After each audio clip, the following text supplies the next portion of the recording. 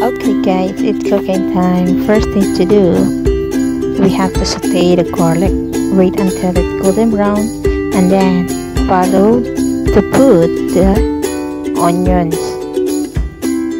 It's optional guys. If um, you are allergic of the herb, then you just put a little bit. But um, for my family, we um, usually put more herbs like the garlic, onions because it's um, make our food more delicious.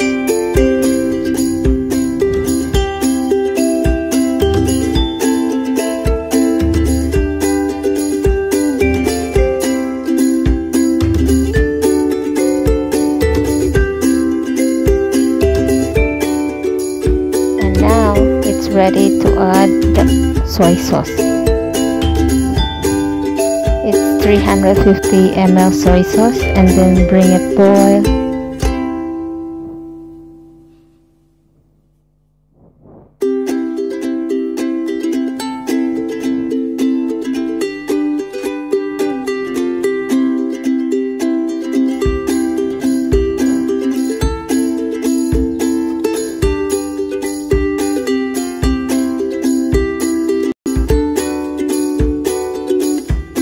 some Magic Sarap if you like. It's optional guys to add some Magic Sarap and then add um, black pepper. Bring it boil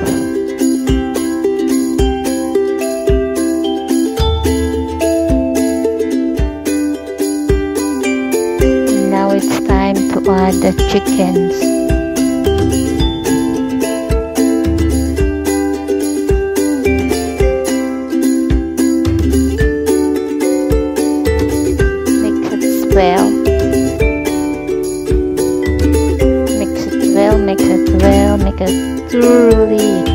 the soy sauce will um stick to the chicken.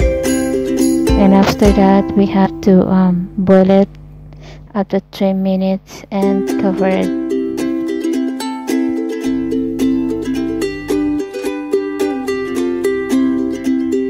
And now guys after 2 minutes we have to turn it aside. So it will cook evenly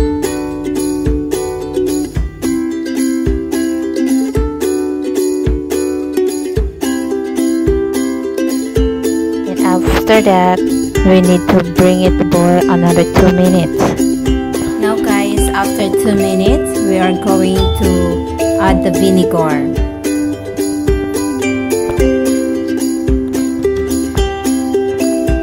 And then after that, we have to cover another